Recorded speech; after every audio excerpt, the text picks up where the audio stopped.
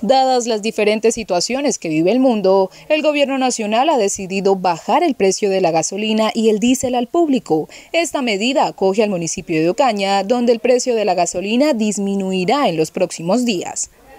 En el caso de Ocaña y el departamento, el, bajo, el bajón grande se da en la gasolina alrededor de 1.020, 1.030 pesos por galón, lo que eh, creo que la gasolina de venta al público está alrededor de los 6.300 pesos, 6.400. El diésel sí permanece igual, alrededor de casi 7.000, 6.800 pesos. Esta baja de precio en la gasolina se verá reflejado una vez las estaciones del municipio de Ucaña y la distribuidora mayorista Comulpinord hayan agotado inventario.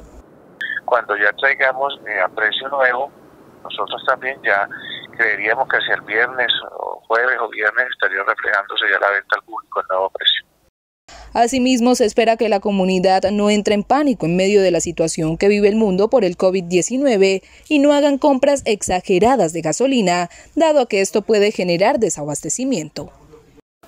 Cupo hay suficiente, eh, inventario hay suficiente, pues aprovechemos este alivio de casi 1.050, 1.040 pesos para que la gente pues goce este beneficio. Insisto, eh, se da solamente en la gasolina, en el diésel no porque la diferencia fue como de uno o dos pesos, aunque no, no genera ninguna baja, baja que sea representativa.